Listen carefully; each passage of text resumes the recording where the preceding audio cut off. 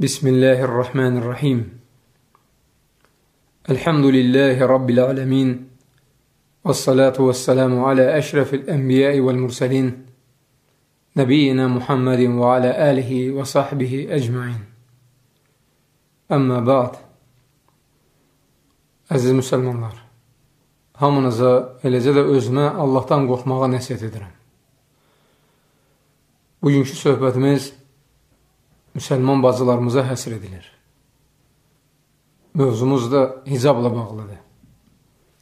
İlk öncə onu qeyd etməliyik ki, hicab İslama qədərki dinlərdə və sivilizasiyalarda da mövcud olmuşdur. Tarixə nəzər salsaq görərik ki, İslamdan öncə Avropa ölkələrinin bir çoxunda qadının hicab geyinməsi onun yüksək zümrəyə zadəgən nəslinə mənsub olması və kölə qadınlardan seçilməsi ilə xarakterizə olunub. Zaman keçdikcə tarixi hadisələrin təsiri nəticəsində hicab tədricən unudulmağa başlamışdır. İslam dini öz gəlişi ilə bu məsələyə yeni bir həyat verdi. Dinimiz qadına yüksək qiymət verərək, onu yad nəzərlərdən qorumaq üçün hicabı bütün qadınlara vacib buyurdu. Əlbəttə ki, insanı yaradan Allah nəyin ona xeyirli, nəyin də zərərli olduğunu daha yaxşı bilir. Odur ki, uca Allah qadını pis insanların şərindən qorumaq üçün onu açıq-saçıq gəzməyi qadağan edir. Əl-Əhzab surəsinin 33-cü ayəsində buyurur, وَلَا تَبَرَّجْنَ تَبَرُّجَ الْجَاهِلِيَّةِ الْعُولَى Evlərinizdə qərar tutun. İlk cahiliyə dövründə olduğu kimi açıq-saçıq gəzməyin. Həmsinin Əl-Əhzab surəsinin 59-cu ayəsində Uca Allah buyurur, Yə əyyuhən nəbi, qul li əzvacikə və bənətikə və nisəl mümininə yudninə aleyhinnə min cələbibihin. Zəlikə ədnə ən yu'rafnə fələ yu'zəyn. Ey Peyğəmbər, zövcələrinə, qızlarına və möminlərin qadınlarına de ki, naməhrəm yanında çarşabları ilə örtünsünlər. Bu, onların tanınması və onlara əziyyət verilməməsi üçün daha münasibdir. Ayədən aydın başa düşülür ki, hicab qadını pis niyyətli insanların şərindən qoruyan əsas amildir. Təbii ki, kişi açıq-saçıq qadına baxanda ona tamah salır və əlbəttə ki, şeytan onun qəlbinə yüz cür vəsvəsə verir. Bu ayə nazil olan kimi, Peyğəmbər sallallahu aleyhi və sələmin zövcələri, qızları və o dövrdəki mömin qadınların hamısı Allahın əmrinə tabi olub hicab geyindi. Tarix boyu onlara oxşamağa çalışan, başqa cür desək, onların yolunu tutub gedən, onların qazandığı cənnəti qazanmağa can atan mümin qadınların hamısı hicab geyib. Elə Azərbaycanımızda qadınlar əsrlər boyu hicab geyib. Özü də sevə-sevə bunu yerinə yetiriblər. Heç kəs onları buna məcbur etməyib. Bir qədər əvvəl oxuduğumuz ayədə Uca Allah mömin qadınlara naməhrəm yanında çarşabları ilə örtünməyi əmr edir. Yaxşı, bəs qadın necə örtünməlidir ki, Allaha itaət etmiş sayılsın? Və bu örtünmə Peyğəmbər sallallahu aleyhi və səlləmin zövcələrinin, qızlarının və tarix boyu yaşamış mömin qadınların örtünməsinə bənzəsin. Bu xüsusda varid olmuş hədistə xəbər verilir ki, Peyğəmbər sallallahu aleyhi və səlləm Əbu Bakr As-Siddiq radiyallahu anhın qızı Əsmanın radiyallahu anhın həddi buluğa çatdığını və hicabsız olduğunu görüb ona belə buyurmuşdur. Ey Əsma, həddi buluğa çatmış qızın əlləri və üzü istisna olmaqla bədəninin heç bir yeri görünməməlidir. Hədisdən aydın başa düşülür ki, hicab geyməkdə məqsəd övrət yerlərini örtməkdir.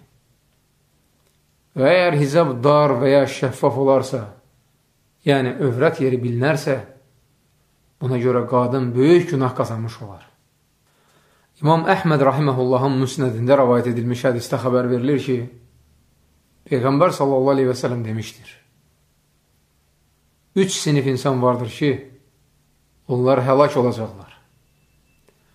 Haq yolda olan cəmaatdan ayrılıb, rəhbərinə asi olan və bu halda ölən kimsə, ağasından qaçan kölə və ya kəniz və bir də o qadın ki, əri onu qoyub evdən çıxmış, özünə də kifayət qədər azuqa saxlamışdır.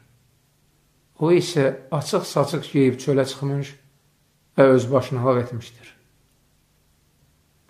Həmçinin İmam Muslimin səhiyində rəvayət edilmiş hədistə xəbər verilir ki, Peyğəmbər sallallahu aleyhi və sələm demişdir, Cəhənnəmlik olacaq iki sinif insan vardır ki, mən belələrini görməmişəm.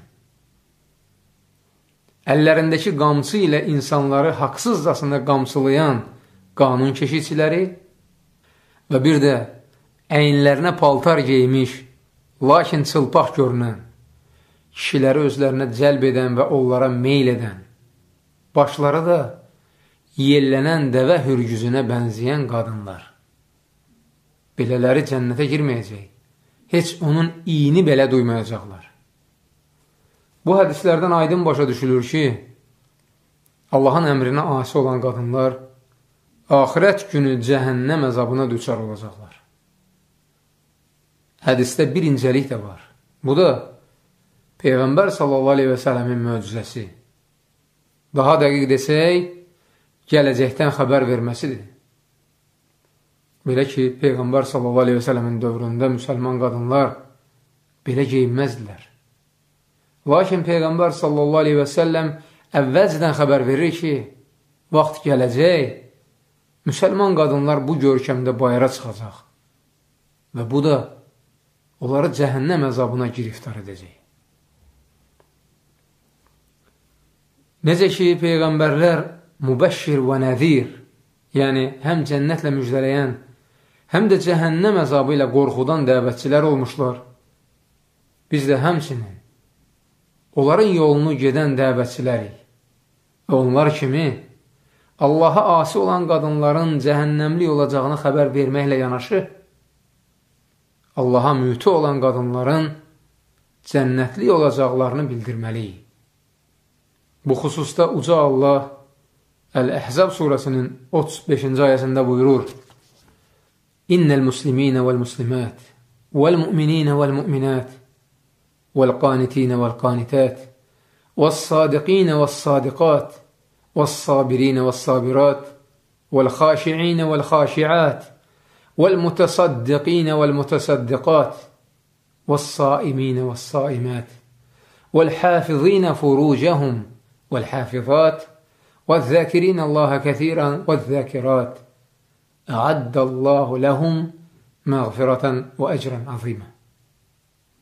Həqiqətən, müsəlman kişilər və müsəlman qadınlar mömin kişilər və mömin qadınlar, müti kişilər və müti qadınlar, doğru danışan kişilər və doğru danışan qadınlar, səbirli kişilər və səbirli qadınlar, Allaha baş əyən kişilər və baş əyən qadınlar, sədəqə verən kişilər və sədəqə verən qadınlar, oruz tutan kişilər və oruz tutan qadınlar, ismətlərini qoruyan kişilər və ismətlərini qoruyan qadınlar. Allahı çox zikr edən kişilər və qadınlar üçün Allah bağışlanma və böyük mükafat hazırlamışdır. Həmsinin hədislərin birində Peyğəmbər sallallahu aleyhi və sələm demişdir. Əgər qadın 5 vaxt namazını qılar, Ramazan ayının orucunu tutar, namusunu qoruyar və ərinə itaət edərsə, qiyamət günü ona belə deyilər. İstədiyin qapıdan cənnətə daxil ol. Hədisdən aydın başa düşülür ki, hicab geymək xüsusunda ərinə itaət edən mömin qadın cənnətlik olar. Qadınları hicaba təşviq etmək istəyən hər bir dəvətçi onlara hicabın faydalarını xatırlatmalıdır. Necə ki, İslam alimləri Quran və sünnədə varid olmuş dəlillərə əsasən hicabın faydalarını zikr etmişlər. Belə ki, hicab geymək möminlərin qəlbini təmizləyir. Pis niyyətli insanların şərinin qarşısını alır.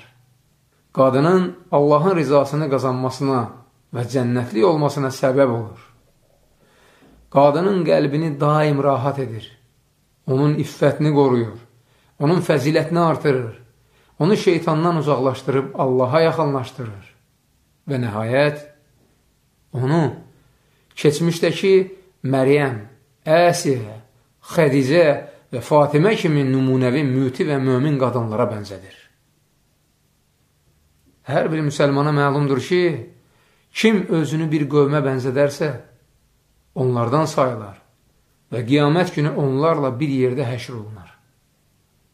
Demək, Peyğəmbər sallallahu aleyhi və sələmin zövcələrini, qızlarını və ümumiyyətlə mömin qadınları sevən, onlara oxşamağa çalışan və onların yolunu tutub gedən mömin bacılarımız, onlarla birlikdə Allahın kölgəsi altında Peyğəmbər sallallahu aleyhi və sələmin hovuzunun başında toplanacaq və onlarla bərabər cənnətə daxil olacaqlar. İndi gəlin, belə qadınlardan misallar çəkək.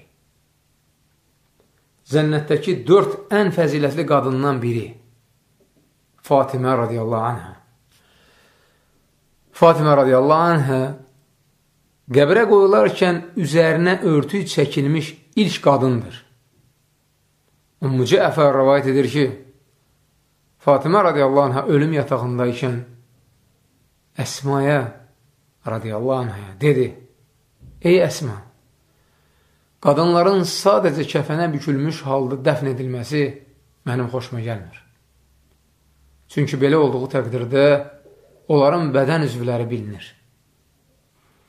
Əsma ona dedi, Ey Rasulullah sallallahu aleyhi və sələmin qızı, Həbəşistanda gördüyün bir şeyi sənə göstərinmi? Sonra da qalxıb, yaş budaqlar yətizdirib, yerə qoydu və onun üzərinə örtüyü tutdu. Onda Fatimə radiyallahu anh dedi, bu nə gözəldir. Bunun sayəsində kişini qadından fərqləndirmək olar.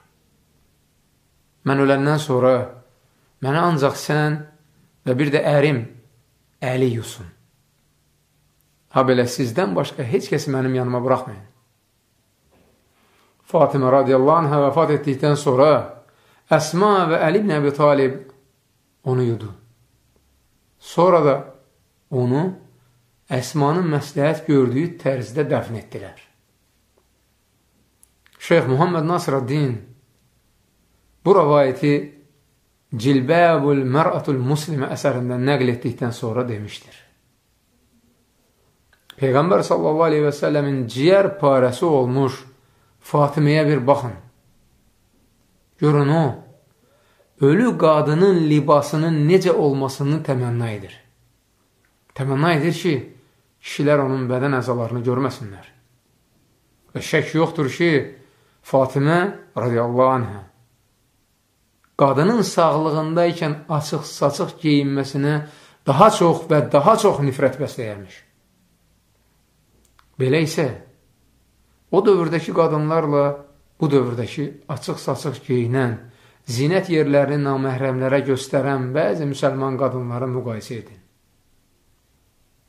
Qoy bu qadınlar uca Allahdan bağışlanma diləsinlər, ona tövbə etsinlər və Rasulullah sallallahu aleyhi və səlləmin bu hədisini qulaqlarında sırqa etsinlər. Rasulullah sallallahu aleyhi və səlləm demişdir. Həya ilə iman tamamilə bir-birinə bağlıdırlar. Bunlardan biri əldən gedərsə, digəri də gedər. İkinci misalımız, Peyğəmbər sallallahu aleyhi və sələmin zövcəsi, möminlərin anası və uca Allahın təmizə çıxartdığı Ayşə radiyallahu anhadır. Rivayət edilir ki, Ayşə radiyallahu anha demişdir.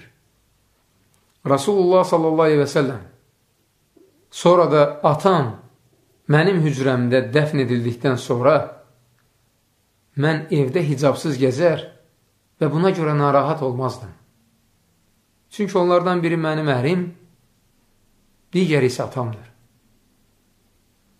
Ömər radiyallahu anh dəfn edildikdən sonra isə mən ondan həya edərək artıq evdə belə icabımı əynimdən çıxarmıram. Allahu akbar. Qadının, mömin qadının həyasına bir baxın. Ölən adamdan belə həya edir. Bir misal da çəkək. Rəvayət edilir ki, Ata İbni Əbi Rabah rahiməhullah demişdir. Bir gün İbni Abbas radiyallahu anh mənə dedi, sənə cənnət əhlindən olan qadını göstərinmi? Mən göstər dedim. İbn Abbas bir zənci qadını göstərib dedi, bu qadın bir vaxt Peyğəmbər sallallahu aleyhi və səlləmin yanına gəlib demişdi, Ya Rasulullah, mən bəzən bayılıram özümdən asılı olmayaraq üstüm başım açılır. Mənim üçün Allaha dua et. Peyğəmbər sallallahu aleyhi və sələm buyurdu. İstəyirsənsə, səbr et. Sənə cənnət nəsib olsun. İstəyirsənsə də dua edim, Allah sənə can sağlığı versin. Qadın dedi, mən bu xəstəliyə səbr edərəm, amma Allaha dua et ki, üstüm açılmasın. Peyğəmbər sallallahu aleyhi və səlləm də onun üçün dua etdi. Və o gündən sonra bu qadının üstü artıq açılmadı. Bu qadının dua et üstüm açılmasın deməsi onun nə dərəcədə Allahdan qorxan və abırlı həyalı bir qadın olduğuna dəlalət edir. Diqqət edin, bu qadın bayaldığı zaman üst başının açılmasına görə günah qazanmırdı. Lakin yenə buna görə utanır və bunun qarşısını almaq istəyir. Sonuncu bir misalı da çəkək. Rəvayət edilir ki, Asim el-Əhvəl rahiməhullah demişdir. Bir gün biz Həfsə bint Sirinin yanına gəldik və o bizi görən kimi dərhal çarşabına büründü. Biz dedik, Allah səni bağışlasın. Axı uca Allah buyurur, ərə getməkdən ümidini üzmüş yaşlı qadınlara ayıb yerlərini göstərmədən hicablarına soyunmasında günah yoxdur. Sənin də yaşın o yaş deyil ki, hicabına bürünürsən. Həfsə soruşdu. Ayənin ardından nə deyilir? Biz dedik. Lakin bunu etməmək onlar üçün daha xeyirlidir. Hafsa dedi. Budur hicab geyməyin müstəhəb olmasına dəlil. Yaşlı qadının belə hicab geyməsinə dəlildir. Vacib olmasa da müstəhəbdir. Söhbətimizin sonunda öz qadınlarına zorla hicab geyindirmək istəyən, əks təqdirdə isə onları boşayan və ailəni dağıdan müsəlman kişilərə nəsiyyət etmək istəyirik. Qardaşlar, Bilin ki, İslam dini bizə hər bir işdə mülayim olmağı buyurur. Hansı kişi istəyər ki, həyat yoldaşı ondan çəkinib, onun yanında hicab geysin. Kənarda isə öz istədiyini etsin. Allaha asi olsun. Demək, qadına hicab geyməyi məcbur etmək yox, sevdirmək lazımdır. Heç kəsə heç nəyi zorla sevdirmək mümkün deyil. Yəni demək istəyirik ki, qadının qəlbinə hidayət verən Allahdır. Odur ki, onların islah olmasını və tezliklə Allahın əmrini yerinə yetirib hicab geymələrini Allahdan diləməli və hər namazda, əl-əl xüsusda gecə namazlarında Allaha dua etməliyik. Biz də hamımızın adından Allaha dua edib deyirik. Ey qəlbləri çevirən Allahım! hicab geyinməyi müsəlman bacılarımıza sevdir və onların qəlbini öz dinin üzərində sabit et. Allahım, onlara bilmədiklərini öyrət və bunun sayəsində onları haqq yola yönəld. Allahım, onlara daim səni zikr etməyə, sənə şükr etməyə və sənə gözəl tərzdə ibadət etməyə müvəffəq et. Allahım, hər bir işdə onların aqibətini yaxşılaşdır, onların şeytanın şərindən, yaramaz əməllərdən və pis fikirlərdən, ha belə qəbir və axirət əzabından qoru. Allahım, onlara hikmət bəxş et və onları əməli salihlərə qovuşdur. Sonra gələnlər arasında həmişə yad edilsinlər deyə onlara yaxşı ad qismət elə və onları Firdovs cənnətinin varislərindən et. Subhanəkallahumma və bihamdik. Əşhədu ən la ilahə illə ənt. Əstəğfiruka və atubu ileyk.